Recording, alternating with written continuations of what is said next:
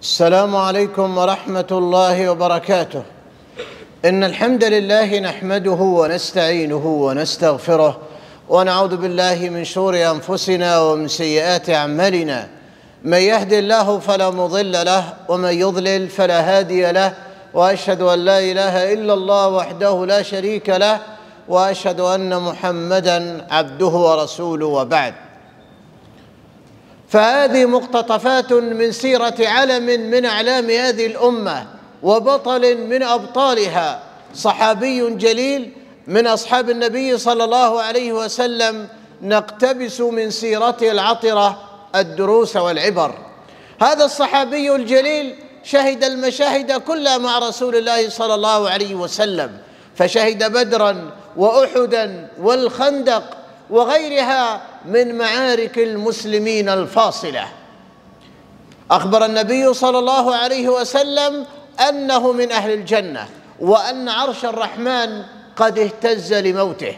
وكان رضي الله عنه ممن لا تأخذه في الله لومة لائم. أسلم رضي الله عنه بالمدينة على يد مصعب بن عمير وبإسلامه أسلمت قبيلته بأكملها. قال ابن حجر فكان من أعظم الناس بركة في الإسلام وله مناقب كثيرة. قال عنه الذهبي في السير السيد الكبير الشهيد أبو عمرو سعد بن معاذ بن النعمان الأنصاري الأوسي الأشهلي. وكان رضي الله عنه رجلا أبيض طوالا حسن الوجه حسن اللحية. قالت عائشة كان في بني عبد الأشهل ثلاثة لم يكن أحد أفضل منهم أسيد بن حضير وعباد بن بشر وسعد بن معاذ رضي الله عنهم. قال عنه ابن إسحاق رضي الله قال عنه ابن إسحاق رحمه الله لما أسلم وقف على قومه وقال تعلمون أمري فيكم؟ قالوا سيدنا وأفضلنا نقيبه. قال فإن كلامكم علي حرام رجالكم ونساؤكم حتى تؤمنوا بالله ورسوله. قال فلم يكن في فما أمسى ذلك اليوم وفي دار عب بني عبد الأشهل رجل ولا امرأة إلا وأسلموا. أيها الإخوة الأفاضل من مواقف العظيمة رضي الله عنه ما رواه البخاري ومسلم من حديث عبد الله مسعود رضي الله عنه قال كان سعد بن معاذ صديقا لأمية بن خلف وكان إذا نزل أو أراد العمرة نزل على أمية بن خلف وكان أمية كذلك تجارته بالشام فإذا أراد أن يذهب إلى الشام مر بالمدينة على سعد بن معاذ. فلما وصل سعد إلى أمية بن خلف في مكة قال له انتظر حتى إذا انتصف النهار وغفل الناس تطوف بالبيت. فلما كان وقت الظهيرة خرج سعد يطوف بالبيت. فمر به أبو جهل فقال من هذا الذي يطوف بالبيت؟ قال سعد بن معاذ. قال تطوف بالبيت امنا وقد آويتم الصباه محمدا وأصحابه الصابئ يطلق على من من انتقل أو خرج من دينه. فقال سعد رضي الله عنه لئن منعتني من الطواف لأقطعن عليك متجرك بالشام. فتلاحيا صار بينهما شجار. فقال أمية بن خلف يا سعد لا ترفع صوتك على أبي الحكم فإنه سيد هذا الوادي. فغضب سعد رضي الله عنه وقال دعنا عنك يا أمية. فإني سمعت النبي صلى الله عليه وسلم يزعم أنه قاتلك. قال إياي؟ قال نعم. قال والله ما يكذب محمد إذا حدث. يعلمون أنه الصادق المصدوق. فرجع إلى امرأته وقال ألم تسمعي إلى ما قال أخي اليثربي؟ زعم أن محمدا قاتلي. قالت والله ما يكذب محمد إذا حدث. قال فلما كان يوم بدر أراد أن لا يخرج وجاء الصريخ أراد ألا يخرج فقال له أبو جهل إنك من أشراف هذا الوادي فسر معنا يوما أو يومين فسار فقتله الله. ويظهر من هذا الحديث آه، شجاعة سعد واعتزازه بدينه. وشدته على الكافرين. فمع أنه بمكة لوحده إلا أنه كان يهدد سادات قريش في عقر دارهم. وقد أخبر النبي صلى الله عليه وسلم أنه من أهل الجنة. فجاء في الصحيحين من حديث أنس أنه أهدي للنبي صلى الله عليه وسلم جبة من سندس فتعجب الناس من جمالها وحسنها. فقال النبي عليه الصلاة والسلام إن مناديل سعد بن معاذ في الجنة المناديل التي يتنشف بها إن مناديل سعد بن معاذ في الجنة أحسن من هذا. ومن مواقف العظيمة ما جاء في الصحيحين أن من حديث عائشة أنه لما كان يوم الخندق أصيب سعد آه، في الأكحل رماه رجل من المشركين يقال له ابن العرقة. رماه في الأكحل بسهم والأكحل كما قال شراح الحديث عرق في الذراع إذا قطع لم يرق الدم. فالنبي عليه الصلاة والسلام نصب له خيمة في المسجد يعود فيها من قريب. وجاء في الحديث أن النبي صلى الله عليه وسلم لما خرج أو انهزم الأحزاب رجع إلى بيته ورمى السلاح واغتسل. فقال له أو فجاءه جبريل وقال وضعتم السلاح؟ قال نعم. قال أخرج إلى بني قريظة.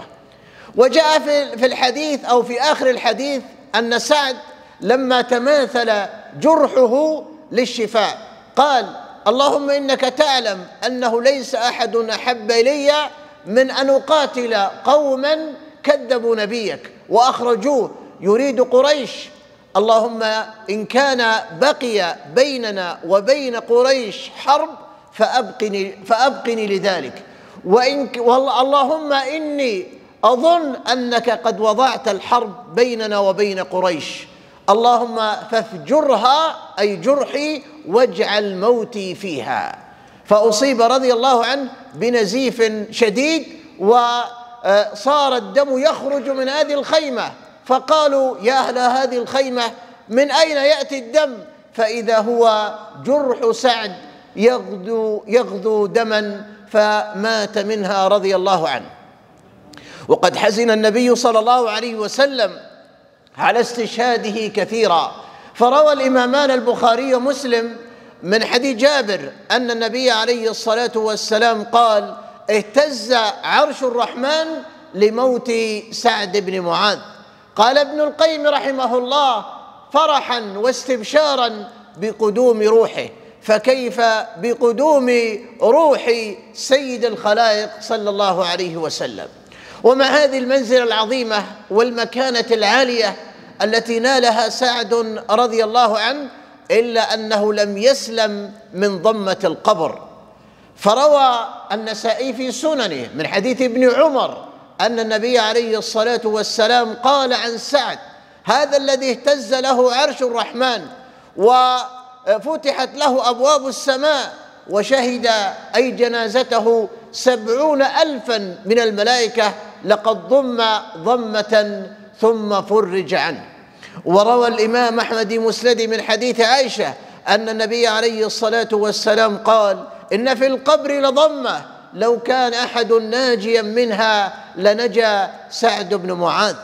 قال الذهبي في السير وهذه الضمة ليست من عذاب القبر ولا من عذاب جهنم بل هي ألم يجده المؤمن كما يجد ألم فراق ولده وحبيبه في الدنيا وكما يجد ألم مرضه وكما يجد ألم خروج نفسه وكما يجد آه الألم أو أو الصعوبة عند سؤال منكر عند سؤال الملكين. وكما يجد آه الألم عند وروده على النار. فهذه الأراجيف كلها أو بعضها ليست من عذاب القبر ولا من عذاب جهنم. وقد يلطف الله المؤمن آه، ببعض ذلك أو كله. آه، وليس للمؤمن راحة دون لقاء ربه كما قال تعالى وأنذرهم يوم الحسرة. وكما قال تعالى وأنذرهم يوم الآزفة. إذ القلوب إذ القلوب لدى الحناجر كاظمين. ما للظالمين من حميم ولا شفيع يطاع. فنسأل الله العفو واللطف. ومع ذلك فنعلم أن سعد من أهل الجنة. وأنه قد نال أعلى درجات الشهادة. كأنك يا هذا تظن أن الفائز لا يناله هول ولا روع ولا ألم ولا خوف. سل ربك العافية وأن يحشرنا في زمرة سعد. انتهى كلامه رحمه الله.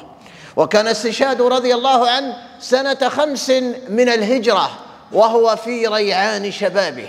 كان عمره آنذاك سبع وثلاثون سنة. قال بعضهم إن عمر سعد لم يتجاوز في الإسلام. السبع سنوات ومع ذلك اهتز عرش الرحمن لموته. وهذا يؤكد ما قاله ابن القيم رحمه الله أن الأعمار لا تقاس بالسنين وإنما تقاس بالإنجازات. صلى عليه النبي صلى الله عليه وسلم ودفن بالبقيع. رضي الله عن سعد وجزاه عن الإسلام والمسلمين خير الجزاء. وجمعنا به في دار كرامته مع النبيين والصديقين والشهداء والصالحين وحسن أولئك رفيقا والحمد لله رب العالمين وصلى الله وسلم على نبينا محمد وعلى آله وصحبه أجمعين.